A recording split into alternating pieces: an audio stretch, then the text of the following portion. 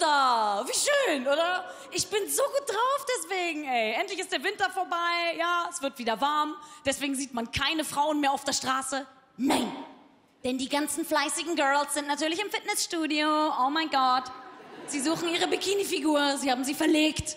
Leute, es wird allerhöchste Zeit. Es wird allerhöchste Zeit. Wenn man, gut, wenn man nicht ganz so fleißig ist, dann kann man sich im Fitnessstudio auch einfach auf diese Powerplate stellen.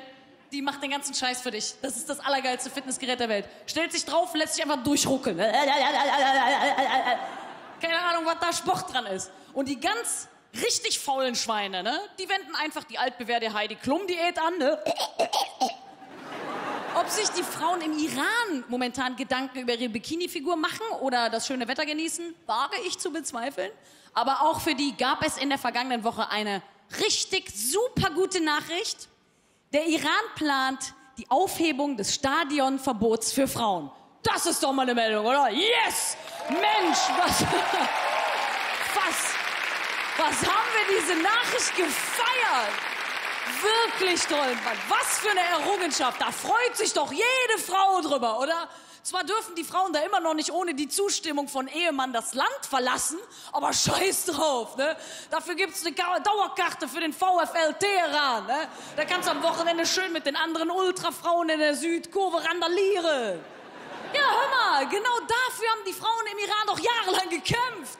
Na klar, jetzt versteht man auch, wofür die überhaupt auf die Straße gegangen sind, oder? Nicht für Gleichberechtigung, hallo. Denen ging es immer nur um die Erhaltung der Fankultur. Natürlich. Hör mal, da kann man wirklich gespannt sein, welche Reform als nächstes kommt, oder? Vielleicht wird den Frauen sogar noch erlaubt, eine eigene Bohrmaschine zu besitzen und im Stehen zu pinkeln. Das wäre doch was, oder? Gut, komm, hör auf. Es ist, ich weiß, es ist schon verdammt arrogant, den Iran als rückschrittlich zu bezeichnen, wenn in deutschen Städten wie Tröglitz noch das tiefste Mittelalter herrscht. Da haben tatsächlich ein paar Idioten ein leerstehendes Flüchtlingsheim angezündet. Nebenbei wurde noch der amtierende Bürgermeister so sehr eingestüchtert, dass er sein Amt niedergelegt hat. Und das Beste, einem Landrat wurde sogar mit Enthauptung gedroht. What? Enthauptung? Moment. Enthauptung, sag mal. Habt ihr euch das auch ganz alleine ausgedacht? Ehrlich? Oder habt ihr da ein bisschen bei den Terroristen auf YouTube abgekupfert? Denkt euch doch mal was eigenes aus, Mensch. Ganz ehrlich, ey, Enthauptung, das ist sowas von 2014. Aber was die Energie, also...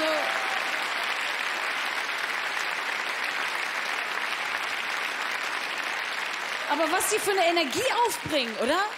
Das musst du erst mal schaffen. Dachstuhl ordnungsgemäß abfackeln, sich zum Aufmarsch verabreden, Plakate bemalen, Sprüche überlegen, sich besaufen, beim Bürgermeister in den Vorgarten kotzen. Ey, hättet ihr mal mit derselben Energie die Schule zu Ende gemacht, dann wüsstet ihr auch, warum Leute ihre Heimat verlassen müssen und sogar lieber zu euch an den Arsch der Welt flüchten.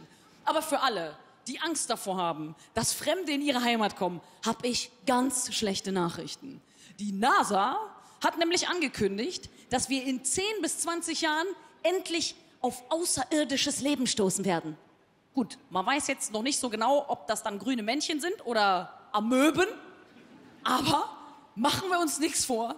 Die Bedrohung liegt auf der Hand. Selbst so eine Amöbe kann einem Neonazi ratzfatz den Arbeitsplatz wegnehmen.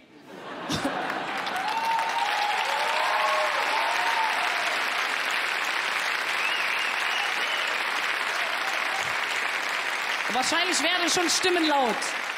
Was muss Tröglitz noch ertragen? Erst Kurden, bald Klingonen, Marsianer statt Afrikaner. Es kommt ganz, ganz finster für den xenophoben Deutschen. Ich bin mir sicher, es ist nur noch eine Frage der Zeit, bis dann auch die NPD Stimmung macht gegen Außerirdische, oder?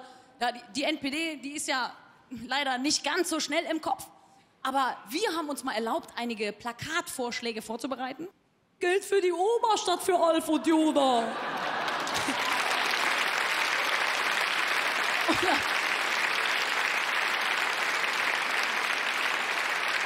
Und nach so NPD-Logik müsste Yoda ja so eine richtige Bedrohung für unsere deutsche Sprachkultur darstellen. Ne? Deshalb haben wir auch in seinem Stil auch eine Ansage formuliert.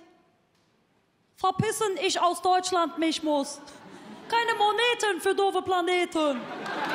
Dann müsste ja wohl jeder in der Galaxie müsste das ja wohl verstehen. Oder? Oder auch geil, dieser Kandidat hier, Nach Haus deportieren. den will bei der NPD bestimmt auch niemand in Deutschland sehen. Weg mit dem.